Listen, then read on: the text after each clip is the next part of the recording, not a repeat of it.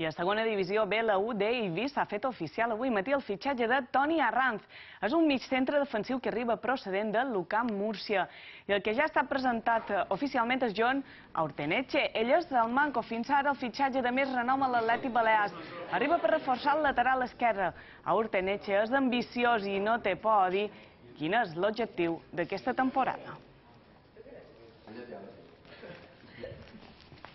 El año pasado el que no pudiesen ascender a, segunda división, ¿no? pues es algo que ha sido pues algo que me ha llamado. Este año pues la verdad que, yo creo que es el, el objetivo, ¿no? El objetivo de poder, de poder eh, ascender.